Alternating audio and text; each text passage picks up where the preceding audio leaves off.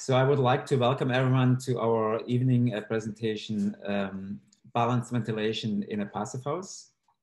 I'm very excited to, uh, uh, uh to be part of uh, today's presentation because we will uh, learn about our most pressing questions like why ventilate or the significance of moisture and air contaminants in homes or another very good question, why are windows not the tool of choice? So it's my great pleasure to introduce to you uh, Dr. Kara Rosemeier, who is a board member of Passive House Institute New Zealand and director of the Passive House Academy New Zealand. She teaches part-time um, in the architecture department at Unitec in Auckland.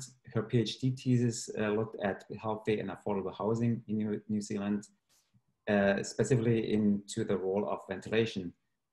So we will have a Q&A session at the end of the presentation. Please uh, post the questions into the chat box and we'll take them uh, at the end.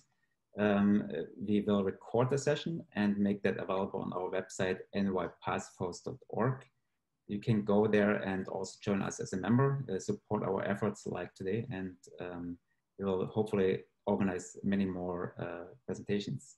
So without any further de uh, delay, I would like to uh, hand over to, to you, Kara. Thank you so much. Thank you, Andreas. Um, um, so nice to see so many names, at least, if not faces. So how are things on the east coast of the United States currently? No one dares to reveal themselves? Okay, um, so I was very sorry to to hear about the the high toll that the pandemic uh, took uh, for you guys. Um, so yeah, it's it's with scary times we're living in, um, and ventilation will will not solve all the problems in the world, but at least perhaps uh, we can we can make the indoor conditions of houses that we are to experience in the future more often uh, a bit more pleasant for everyone. If you have any questions at all or want to dispute things, um, just feel free to unmute yourselves and let's have a chat about things. Okay, let's talk about balanced ventilation in a passive house. Um, by the way, if you hear banging in the background, um, it's not from people I locked into my closet. Well, I would say that if there were people locked in my closet, wouldn't I? Um, it's either my neighbor on the top of me remodeling their apartment or my neighbor to the right rebuilding their deck. The joys of working from home. Okay, so what I want to talk to you about today is the reasons why we need to ventilate and how to ventilate right so that we do not lose the force and not waste heat. And then we have to look into options for distributing fresh air uh, to the spaces where we need it. Why do we need to ventilate? Um, funnily enough, up to the 19th century, people considered the purpose of breathing solely to be a cooling of the heart. But we learned later that the quality of the air that we breathe is also rather important for our well-being and the reason we ventilate our buildings is the provision of good quality air. Now, one of the problems we have in doing so is that we don't have any inbuilt sensors for poor indoor air quality.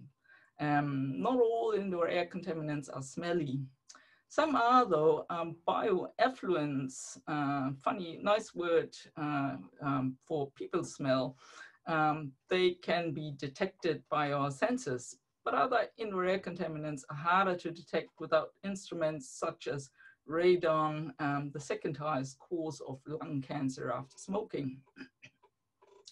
now, moisture is not per se an indoor air contaminant, um, but it can cause mold and mold spores may cause adverse health effect. Uh, so a ventilation system needs to distribute an adequate amount of outdoor air and preferably filtered as outdoor air is not always pristine to dilute contaminants sufficiently, keep moisture at a level that prevents mold growth, and doing all this while not neglecting thermal comfort and energy efficiency. Now to achieve good indoor air quality outcomes, we ought to start with avoiding substances or processes that emit pollutants. Um, 19th century hygienist Max von Pettenkofer famously said that there's no point in optimizing the ventilation when you have a compost heap in your living room. But when it comes to harmful substances that don't have a strong smell, this is easier said than done as we don't know enough about most things we bring into our indoor environments. Um, next up is containment, using coatings and extraction at the source. But where we really have the greatest control is dilution to keep pollutant concentrations within a target range to not be harmful for us. So dilution really is the ultimate thing we can do for indoor air quality. So, and for diluting air, we need to ventilate. Um, so what options do we have to ventilate homes energy efficiently and get good indoor air quality outcomes?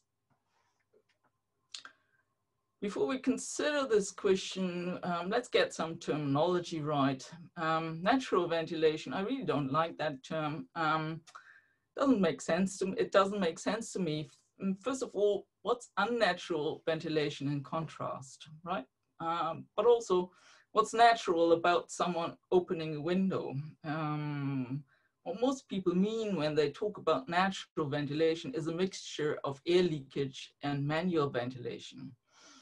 Um, I reckon free running buildings or free running ventilation as a not mechanically forced is a better term for this. If you exclude mechanical forces from the equation, well, then stack effect or effect or wind effect um, remain as potential drivers for an air exchange in building. Um, the difficulty with excluding mechanical forces as a means of ventilation is to get just the right amount of air exchanged.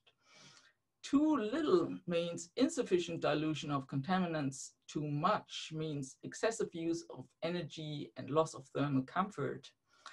And if we want to use natural forces for ventilating buildings, we have to adjust our behavior constantly, as these forces have quite different effects whether a room is windwards or leewardwards, whether it's on the ground floor or on a higher floor, whether there are adjacent buildings or geographical features and so forth. Is it even possible to get good outcomes for indoor air quality with infiltration? Um, well, surely we have a quantity problem there, and this is literally a back of the envelope calculation to gauge the magnitude of this quantity problem. Um, I'll be reading out the metrical values here as I still find IP values too confusing and cubic feet still sound like a podiatry concern rather than a measure of volume to me.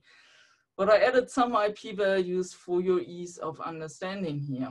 All right, let's see what we have here. Um, let's see, we have a, a house or apartment with a floor area of 150 square meters.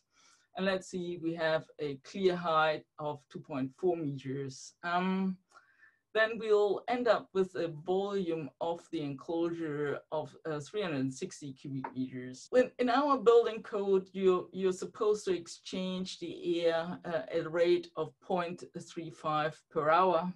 And as our code is based on ASHRAE 62, a very old edition of it, um, I assume there's some similar provision in, in your code.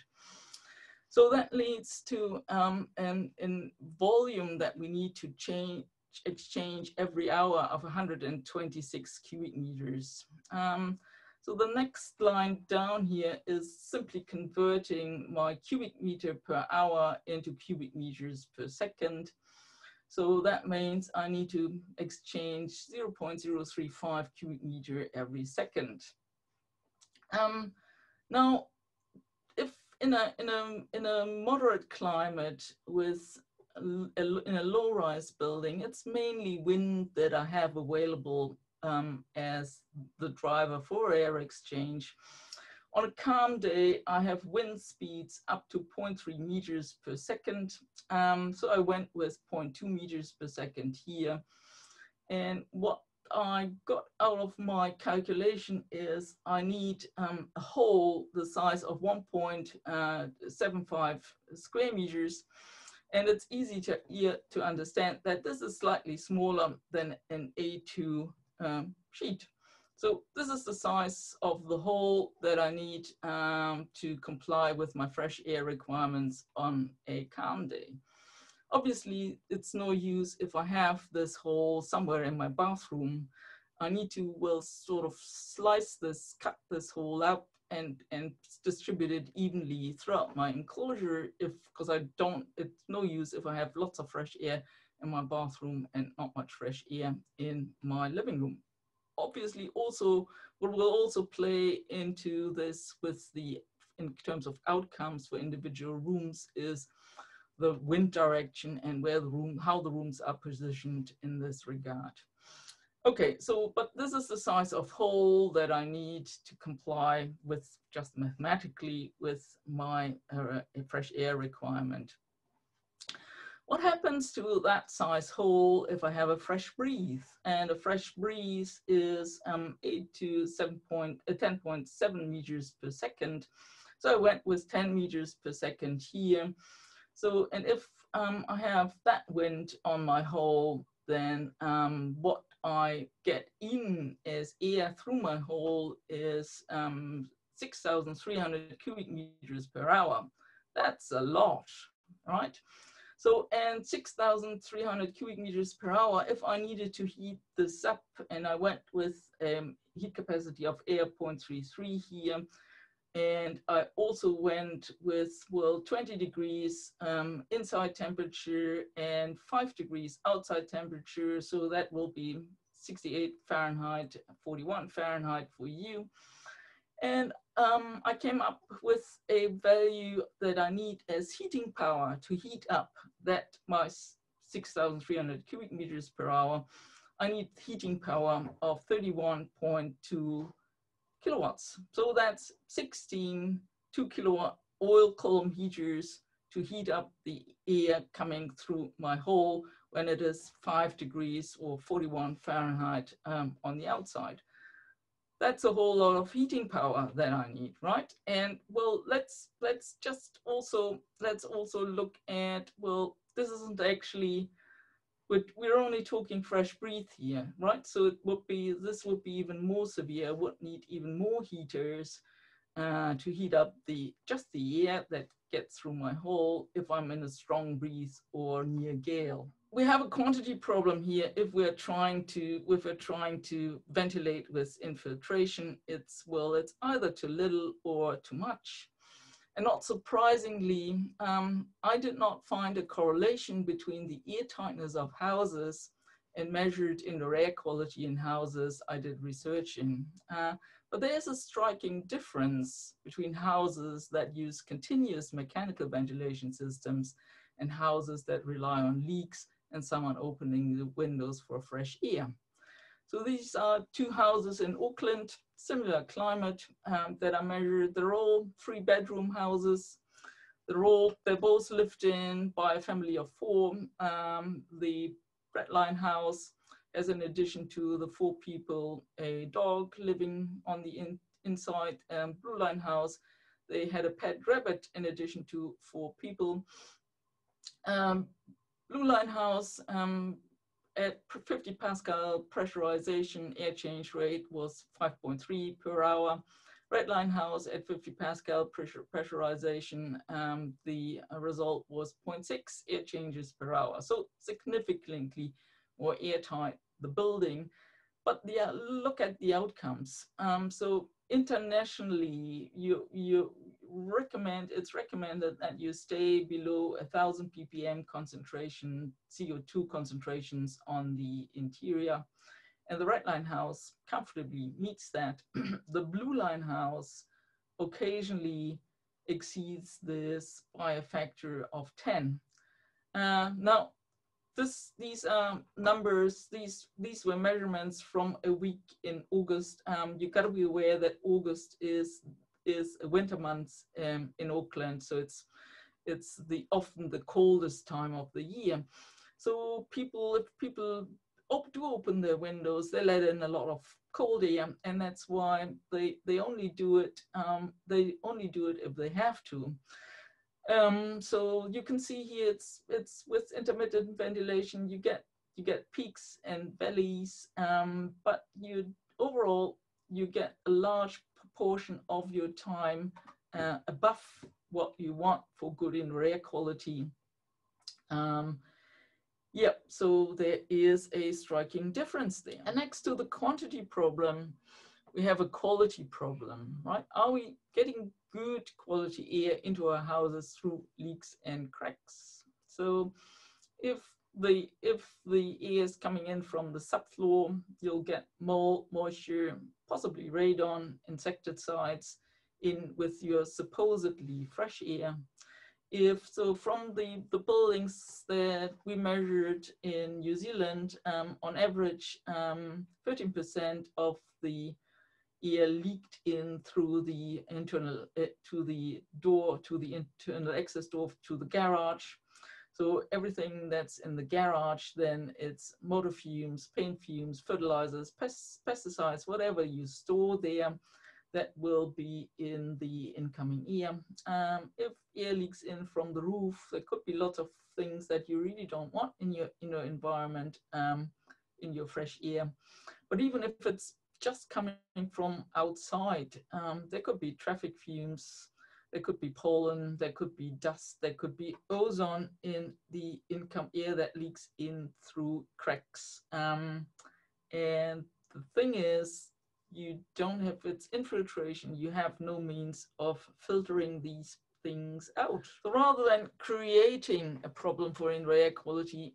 air tightness is a precondition for any ventilation system to work as intended. Trying to get directional airflow or airflow into spaces where you want it when your building envelope is a sieve is just utterly futile. And there are other good reasons to keep your thermal envelope as airtight as possible. Uh, with air leakage, you have an increased risk of interstitial condensation, uh, warm moist air condensing on its passage to the outside somewhere on a cold surface. You have un uncontrolled indoor environment. You cannot control humidity, contaminant ingress, or airflows if your building envelope is a sieve. Um, fire uh, needs needs air. Uh, smoke travels with air, so you'll also have an increased risk of fire and smoke propagation. You have larger forces for rain penetration because, well, what what air leaks, what a leaky envelope will do, it will will create a pump effect at your um, building envelope. Um, sound travels with air, so you have increased sound transmission. You have poor thermal comfort and you have higher energy cost. So there are lots of reasons to make your building as airtight as possible. And there are really no downsides. So airtight buildings are not worse for indoor air quality outcomes. Cross ventilation that is that you often see advertised as a way of achieving good air change rate does sometimes lead to unintended uh, outcomes, right? So this kid here will certainly not be happy with the indoor air quality, um, indoor air quality that's achieved by cross-ventilating those two rooms. But it could also be a kitchen here on the left and someone's frying fish, or it could be a toilet. Um, because you're right at the mercy of the wind, it's difficult to predict what will happen at any point in time. Um, there's just a lack of control over airways, but also over quantities. Um, so just to just to wrap this up, the the question of whether natural ventilation is something that was leads to good outcomes. So for my research, I also model trickle vents and passive stack options to see if they lead to good indoor air quality outcomes the results I've seen for low-rise building in a mild climate at least were very much correlated with wind speed still at the location. So the stack effect was almost immaterial. It was completely overwritten by wind. this will be different for a colder climate or in a high-rise building, um, but I still doubt that you get uh, reliable outcomes by any passive means. So yeah, you can use you can ventilate using windows, um, but it really is a job. Yeah. So you gotta you gotta keep doing it. You gotta keep on it. You gotta be vigilant, right? And just as you can do your laundry manually, um, you can do your ventilation manually.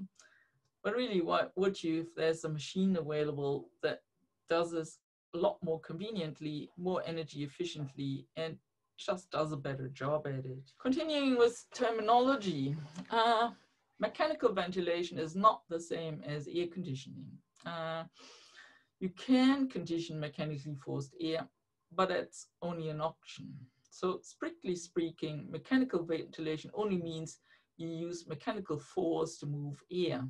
Yeah, conditioning is optional. The great advantage that you have with mechanical forces is that your ventilation is continuous. Um, and as indoor air pollutants build up pretty quickly, it needs to be continuous for best effect. So in the top left picture here, you see a room where all the stale air was just completely exchanged. Um, there's a mannequin sitting here that exhales CO2 like a human would. So after 25 minutes, you see that, well, a third of the room has already concentrations above 1000 ppm. Um, and if you want to keep uh, your CO2 concentrations at below 1000 ppm, um, as you should, um, it's almost time to have another complete air exchange. Yeah? If you ventilate intermittently, there will therefore be times when your indoor air quality isn't great. So that's the big advantage of continuous ventilation and continuous ventilation can only be done effectively with um, mechanical forces. What can we do to get continuous ventilation? Well, the simplest form would be using a continuous extract fan, which can be ducted to your uh, wet rooms, kitchen, bathrooms, um, and then provide makeup air via trickle vents or passive vents to your living rooms and bedrooms. So that would uh, entail continuous ventilation and you would get better humidity and CO2 control with such a system. And to a degree, this would be directional. So a friend of mine did some measurements on their trickle vents um, to see what the impact of wind, and there still is, wind still has an impact on how much air comes in there, um, but it's a lot better than, than the, the free-flowing, uh, free-running um, alternatives. And the other advantage is it's a simple system that can easily be retrofitted, um, but there are also disadvantages. Um, you can't have heat recovery with such a system. Um, well, as I said, control over airways is not complete. Um, and while those trickle vents may come with some sound attenuation, um, it's not optimal for your acoustics. And as the incoming air is cold air, uh, you also don't get really good comfort outcomes with a system such as this enter balance systems with heat recovery. And that's what we really want uh, for um, passive houses. So what are the requirements for such systems that are passive house certified?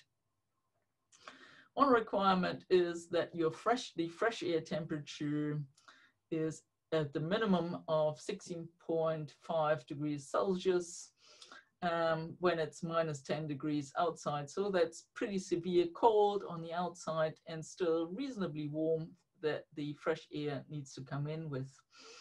Um, the effective dry heat efficiency must be more than 75%. And the thing is, the 75% um, for passive houses they're measured slightly differently than what you would what you see sometimes um, how efficiency is measured. Sometimes the way efficiency is measured, your your heat recovery is more efficient if your if your um, system is leaky, yeah, because if you do the measurements in a warm environment, then then air leaks will contribute seemingly to the temperature gains and um, also, if your, your system isn't sufficiently insulated, then this will seemingly contribute to efficiency gains. Uh, and lastly, if your fans are, are very inefficient and, and create a lot of waste heat, that may also artificially increase your, your, the efficiency of the heat recovery. So the way that Passive House measures efficiency is different and it excludes all these things. Um, the total electrical efficiency of your system must be less than 0.45 watt hours per cubic meter of air that you move. There are also acoustic requirements. Um, so in the room where your appliance is set up, you must not exceed um, uh, 35 decibel at the human uh, adjusted scale. For living and bedrooms, it must be less than, you, the maximum is 25 decibel. Functional rooms uh, maximum is 30 decibel. Not all, not all air handling units achieve these values out of the box, which means sometimes you're required to house them somewhere in a cupboard or somewhere separately uh, to achieve the outcomes for acoustics. Um, now for um, for incoming air, there is a filtration requirement F7. Um, there's a new international standard now. It's EPM 1, I think is what that translates to. And the exhaust air is also filtered. That's mainly to keep your to keep your heat exchanger core uh, free of buildup from things. And then there's a requirement for um, standby consumption that should be less than one watt. Um, to give you an idea of what that equates to, so um, a, a small house, uh, 125 square meter uh, floor area, would the, the fan power needed would be approximately 38 hours with an efficient system. And assuming you're using your ventilation for 300 days, 24 hours, and assuming that the rest of the days in the year is if the, the outdoor conditions are so nice that you could just open all your windows permanently, um, um, then you would consume with your, to run your system, you would consume 274 kilowatt hours per year, or if you spread this over the floor area, it would be 2.19 kilowatt hours. I'm not quite sure what you are paying for the kilowatt hour electricity. We pay about 30 cents per kilowatt hour. So for us here to run the system would cost, um, about $82 a year. And so this for the your $82 a year, you could get all your good indoor air quality outcomes. But there's one other thing you get, you get heat recovery. And so for a quite efficient heat pump, um, I know that manufacturers are advertising values that are higher, but really the best you can hope for as seasonal performance factor is something between three and four. Yeah, seasonal performance factor or coefficient of performance between three and four would be a pretty good value for a heat pump. Now, they measured seasonal performance of heat recovery ventilation system in 32 passive houses in Hanover, Germany and the average that they measured there was 16.5. So 16.5 means one kilowatt hour um, electricity invested uh, recovers 16.5 kilowatt hours heat. So that is far, far, far better than what you get with a very good heat pump. So not only not only do you get good indoor air quality, it also really makes economic sense to do it. So what are pr properties of passive house ventilation system? First of all, and that's important to note in, in the, the times of COVID, is you're not allowed to use recirculated air, right? So it's, it's always outdoor air, yeah? You're not recirculating air. And by default, there's no conditioning. And in a passive house, um, for 90% of the year, you wouldn't need any conditioning either. But there is the option to pre-warm or pre-cool to cover climate extremes. All air is filtered. Um, ventilation is possible while windows are closed. So that means you're protected from noise, insects, and there's improved security But in a passive house, you still require to have not all, but but some operable windows. Um, so you will safeguard that you can still ventilate um, when you have a power outage or that you can open windows to enjoy the other benefits that windows bring in connection to um, the outdoors, etc. So you really have a choice. Um, in a house without mechanical ventilation, you don't have a choice. If you don't open your windows, you get poor outcomes for your indoor air quality. Um, in a house with a mechanical ventilation system, you have choice. Okay, looking at a um, an air handling unit and what do you typically find there? So you're extracting air from your bathroom kitchen uh, that gets filtered before it uh, moves on to a heat exchanger. In the heat exchanger, it meets outdoor air that also gets filtered. And so they meet, but they're sort of separated. They're separated by some form of mask. You'll, you'll know the drill with, with separation, right? So they're separated by a thin membrane but they they well if you have the right form of heat exchanger then it's possible for the for the warmth of the extract air to well be donated to the outdoor incoming air and then become supply air. Now here the temperature of air should be at a, at the, a minimum of 16.5 degrees, um, but that might not be enough um, in climate extremes, or that might not be enough for your comfort requirements. By the way, the more efficient your heat recovery, the higher the temperature here will be. So 16.5 is the minimum. If you have heat recovery efficiencies above um, 90%, uh, then you should see rather 18 degrees here.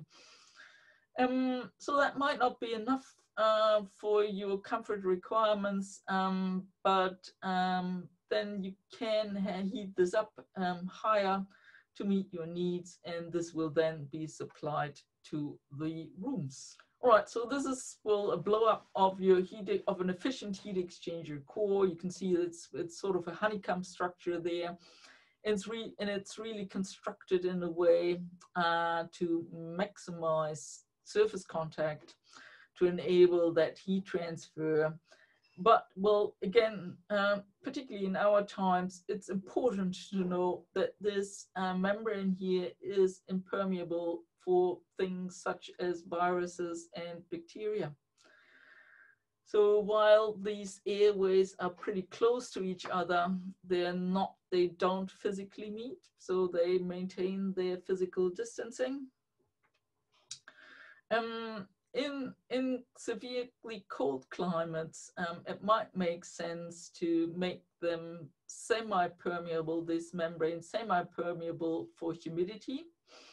So if you have very cold winters um, and you're continuously ventilating, um, one of the downsides may be that your interior ear becomes too dry. Um, and um, to prevent this, you can make this membrane semi-permeable. So there are systems with a membrane that's semi-permeable to water molecules.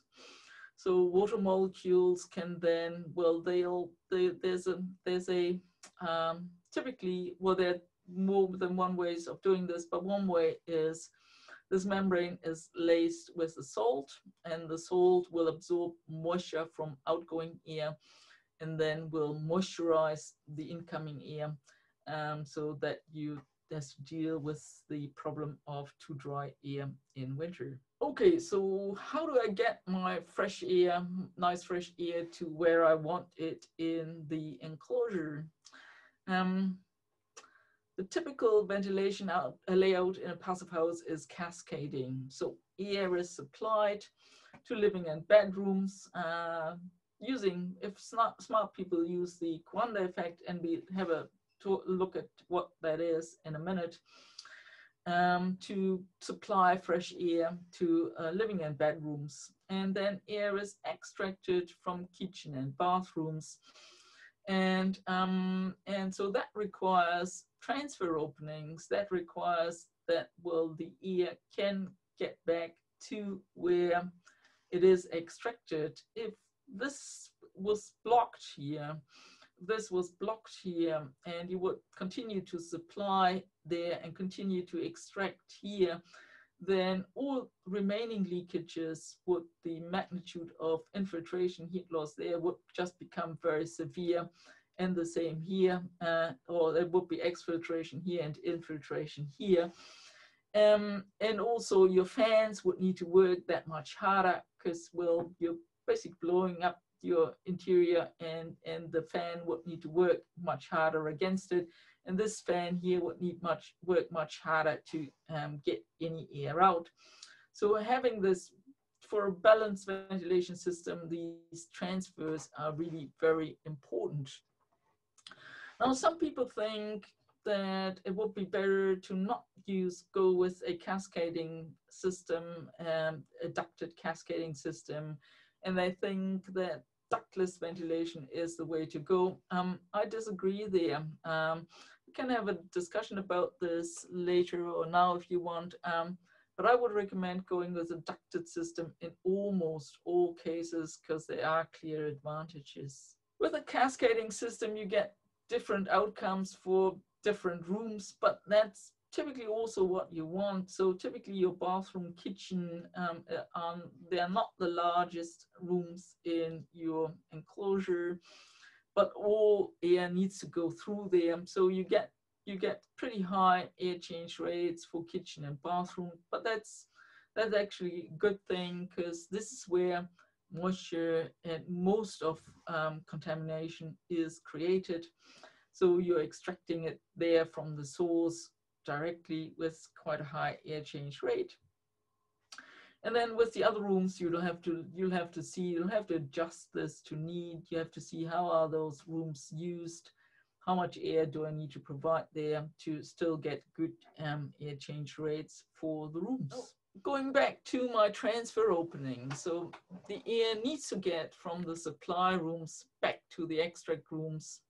And this has to happen without incurring much of a pressure drop as well if you get a pressure drop we're basically we're losing the force. Uh, we've got to power with our fans a lot more than we would needed to. And we're also um, we're also losing the heat because then the the air will be just be pushed out through the envelope or sucked in through the envelope and we can't recover any heat from leakage flow.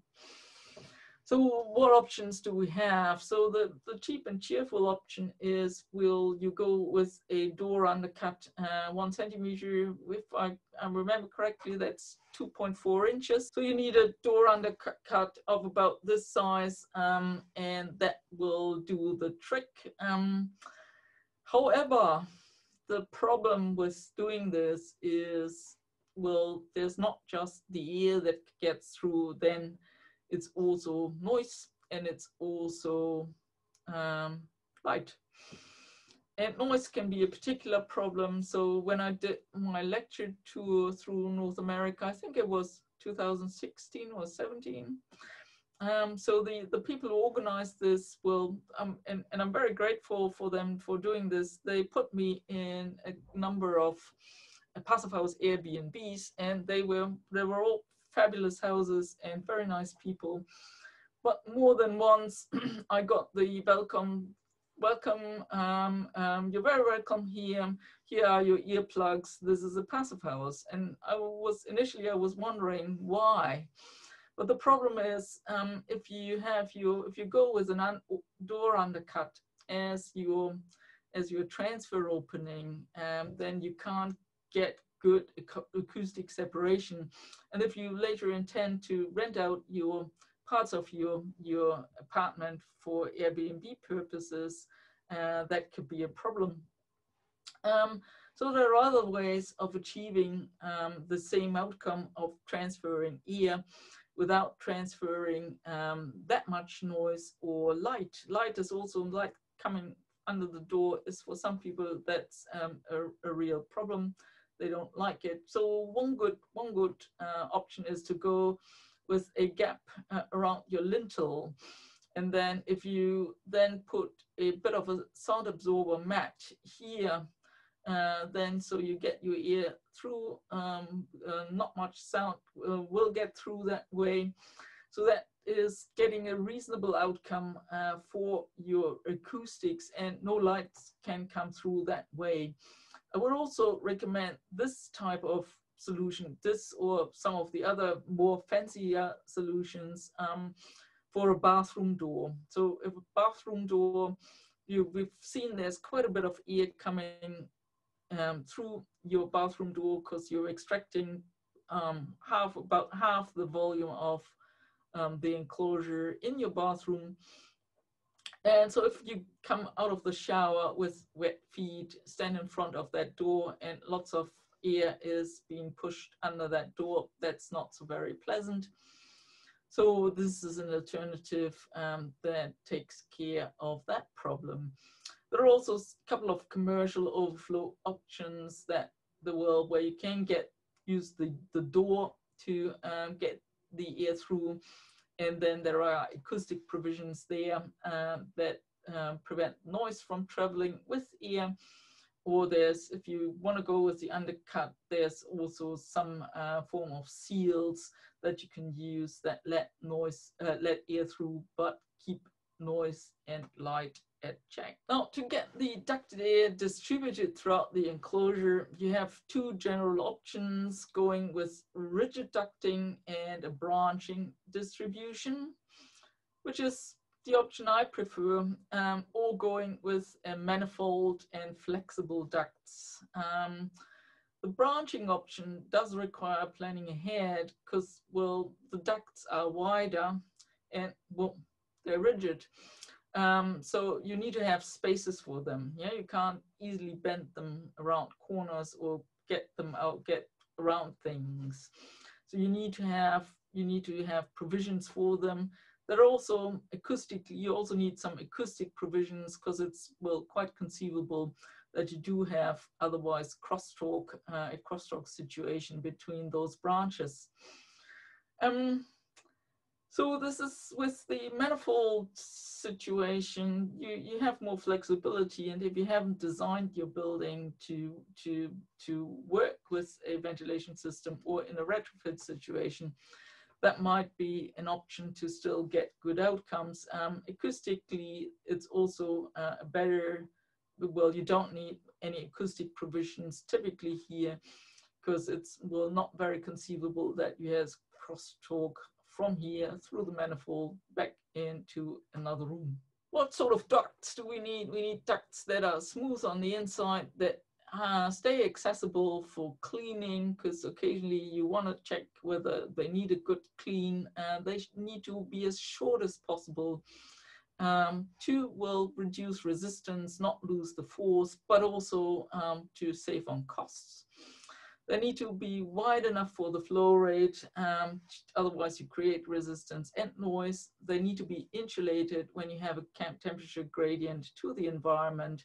And if you're carrying cold air in a duct, um, they also need to be, have that insulation to be vapor tight. You want minimal bends and constrictions, and you don't want any electrostatic charging, which is particularly a concern if you go with polymer ducts, plastic ducts, they need to be coated to prevent electrostatic charging. Otherwise, if they charge up, they all dust particles in air will cling to the surfaces and block them over time.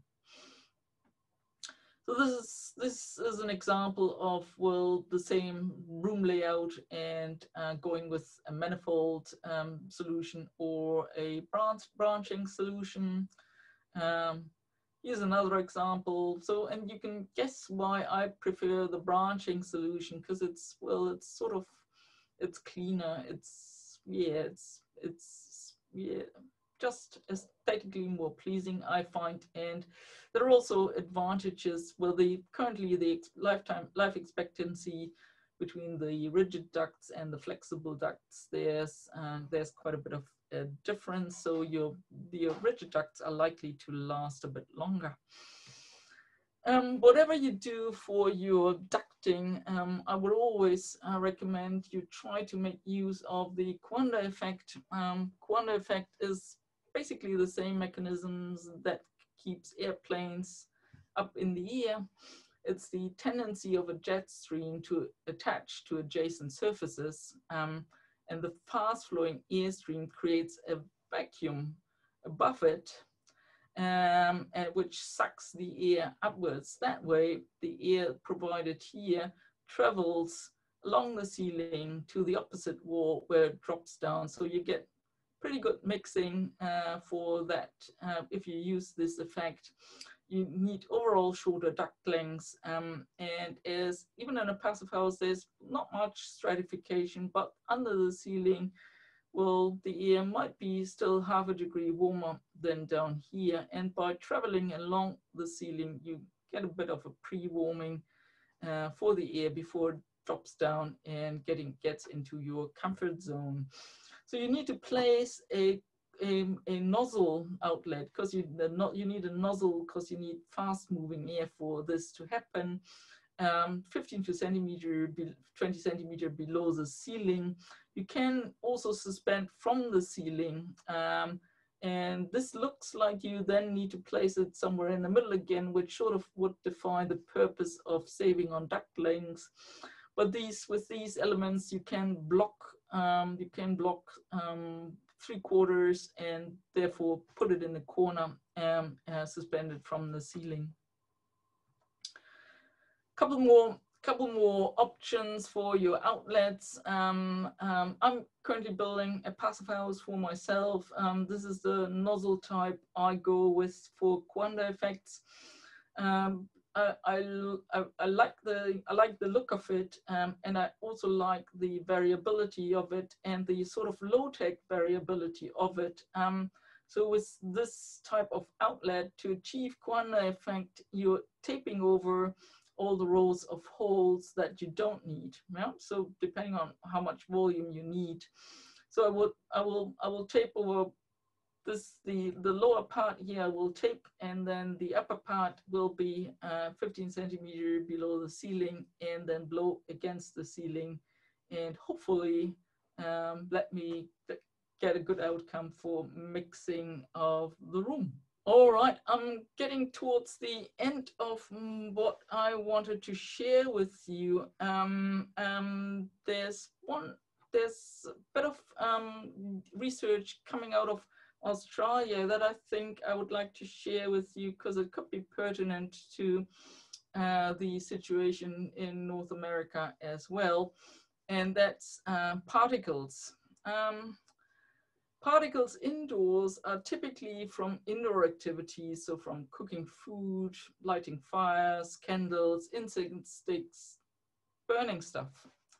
Or they could be from sanding or scratching your hair, things like these. Actually, when I deployed particle readers in buildings to monitor particle concentration, um, the, the way I tested whether they worked was scratching my, putting them somewhere, scratch my head. If I got a large particle reading, then they worked. Um, but occasionally particles in indoor air originate outdoors, um, such as was the case with the Australian bushfires. And as you can see here with the yellow line, um, um, F7 filtration, uh, so the, the, the, the, F, the yellow line is an airtight house with um, mechanical heat recovery and F7 filtration. That already takes care of quite a bit of uh, the particles uh, from outdoor air. So red line would be um, red line would be an air leaky building. Blue line is um, outdoor concentrations. So the, the yellow line is already faring quite a bit better with the peaks in outdoor concentrations than the uh, house without any filtration. But um, once you have a ducted system, it's um, also possible to well go even further and improve your indoor particle situations um, even, even more. Um, and in this case, the occupant put a homemade HEPA filter box in front of the air intake. And with this DIY contraption, um, the yellow line again here, um, indoor concentrations were kept below recommended values most of the time. Um, now you wouldn't want to use a HEPA filter as standard in a passive house as it increases the airflow resistance quite significantly and therefore increases the power usage significantly. Um, but there are times when you need more filtration. And if you have a central ducted air intake, it is relatively easy to temporarily increase the amount of stuff you filter from outdoor air. And you cannot do this with window ventilation. This ends my presentation. Um, very happy to take questions now. So thanks, uh, thanks, Kara, for the great presentation. Yeah, we, we have um, we have a couple of questions here. I think the first one you probably or answer with the HEPA filter, uh, which of course becomes a more important questions, uh, especially in the West uh, with the wildfire. So I think uh, I think a temporary HEPA filter, obviously that's a good idea. Where would you implement that HEPA filter in the vacuum system? So they just built they just built a, a box, as I understand that that was um, put just in front of the exterior uh, where the air intake was. So mm. that was, well, a DIY option. Um, I think probably it's what I'm hoping. So it's not that as easy as switching the filter in your air handling unit, right? Mm -hmm. um, so uh, um, generally, I, I, well, I hope that manufacturers will make that easier in future. But there's also the option to there's currently already the option, and I actually like that option um, to go instead of with the inbuilt filters in your air handling unit, to put a separate filter box in front of your in front of your air handling unit, right? So the advantage of going with a separate filter box is the filter is one of the other places in well is is the place in your ventilation system with the highest airflow restriction, even if it's clean and that will, if it's getting dirtier and dirtier, it, it will reduce, it will even more, be more of a restriction. Um, and the, the larger your filter, your less the restriction, right? The airflow restriction. Therefore, going and but in in your putting the filter in your air handling unit just does not there's not enough space for it, right? So therefore going with a separate filter box in front of your air handling unit is a good idea because then you can make the filter far larger. You can go, go with large pocket filters. And then it should also be easier if you have a separate filter box to change the filter quality and go with HEPA filters hmm. then. So you, you place it in the incoming fresh air stream yes. before yes. the Yes. Okay, so uh, we have another question by Paul. Maybe Paul, you can unmute yourself and uh, probably you you you ask a question. It's a, a long one. Uh, I was just interested in the graph you had up earlier, Kara, um, yeah. showing the parts per million in the Auckland houses. I just wondered if you're aware of any studies that have linked um, sleep improvement and performance. Um, unfortunately, I'm going to have to err along the uh, improvement to the general economy by people who sleep well, but whether or not there are any, any reports on improved sleep and improved performance in the workplace from those living in passive houses. so um, um, let, let me try if I understand your question correctly. You're asking, are there any studies that uh, will that are quantifying health benefits of um, of proper ventilation? unfortunately not that I'm aware of. There's no study which which shows the the benefits of a better or lower carbon level in your carbon dioxide level in your building in a passive house? Well, there's no, there's this, well, there, we, we all know that high CO2 concentrations indoors are a problem, right? So there are studies that say that. Mm. But there's I'm not aware of any studies that say, um, well, if your CO2 concentration level is such, um, then the burden to the health system is lessened by that amount. So I'm not aware of studies like this. Would be good to have them. So I would encourage everyone to to try and undertake these type of studies. And so there's a question by David. He um, he's asking, could you outline a, a non-ducted air supply system? How would that look like? A non-ducted air supply system. So this is well, there there are a variety of of options there. Um, basically, you'll be perforating your so you you'll have a duct within the in well non-ducted system where the duct is a bit of an oxymoron but that duct sits in your in your envelope and in that duct you have you have a heat recovery core or well sometimes it's something that sits in front of the duct that has the heat recovery core but you have so you have a fan in in the in the duct or in front of it rather than a central fan um, somewhere then ducted from there. Um, so this is, well, it's, it's an, an option I would consider in a retrofit or in a tiny house or where really going with a centrally ducted system doesn't make economic sense, right? But for if you have the choice to go with ducted systems, so if you have a normal size building and there's space for your ducts.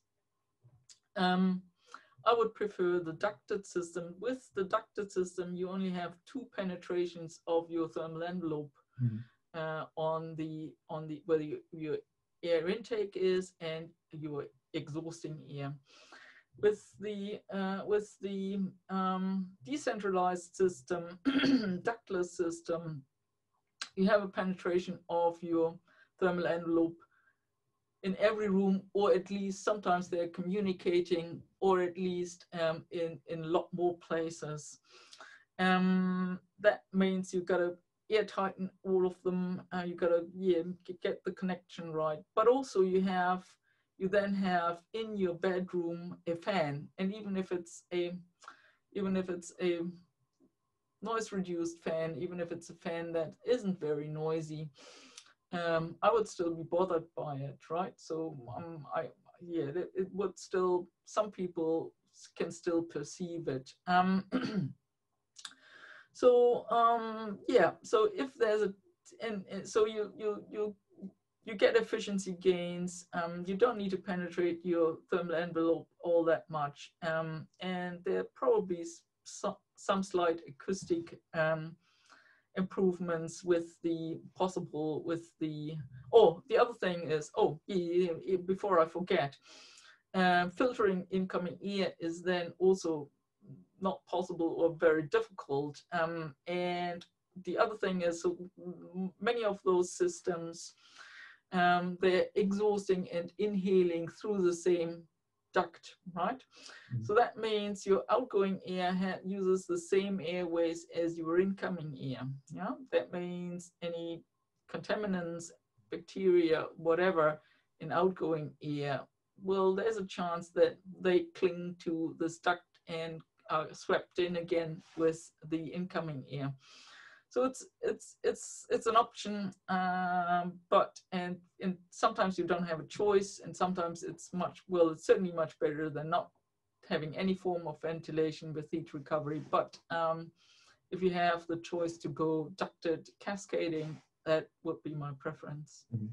Do you have a Do you have an opinion on on on the transmission uh, contamination cross contamination in a heat recovery core concerned uh, the, the, the, virus, the COVID virus? Do you have any? I, I don't, I can't be certain. Um, I haven't seen any research as to, um, so typically with, uh, with modern heat recovery cores, with, it's typically a polymer core, mm-hmm. right? It's a core, it's a polymer membrane. And I would assume um, that this polymer membrane is impervious to viruses and bacteria. Um, I'm, I'm not 100% certain. Um, so the I think the what, what currently the concern is with ventilation and COVID is uh, recirculated air. And in a passive house, you wouldn't use recirculated air. Um, so that is the advantage that you have. And um, I'm, I'm, I'm currently, I'm assuming that um, the polymer membrane will not let um, bacteria and viruses through. Also, considering that, hmm, so it's it's not like there's the the air has a lot of time to dwell there, right? So it's it's it's pushed through quite rapidly. Um, so I don't think there is a risk but I haven't seen any research confirming that. So Dean is asking, why wouldn't you use a manifold system where air is provided and taken from each room? That way you don't need to undercut doors or worry about acoustics. Okay, so the question as I understand it, and Dean correct me if I'm wrong, is you're asking why go with a cascading system where you only extract from some rooms and supply from from to other rooms, why not go with two ducts into every room? um, it's mainly it's mainly a cost thing, right? So um, the outcomes aren't better if you get the transfer situation uh, right, and it's not that hard to do it if if you know what to look for. Um, so so yeah, you would just you would have to you would have to um, you would have to go with a duct with two ducts minimum. So sometimes depending on room size, you need two ducts to begin with if it's a larger room. So, and if it's a larger room, you then would need two ducts supply, two ducts extract. That adds cost and complexity and there's not that much gain. The only thing you need to, with the cascading system, the only thing you need to consider is well just allowing the air to get back and there are solutions there are commercial solutions there are diy solutions to this that work quite well if you consider the usage of the your spaces hmm. have you seen a, a passive house which uses uh, that kind of a system i mean I, I actually have never seen one um yes i've seen a a commercial project that mm -hmm. was using this. And with a commercial project that might be because well so the cascading system um, you for balancing things you need well you need extract rooms. You need about the same yeah you need the same extraction as supply. In a commercial project that might be challenging yeah because your your your kitchen areas or or toilet areas are typically not well compared to the other spaces that you need to ventilate that there's it's difficult to balance.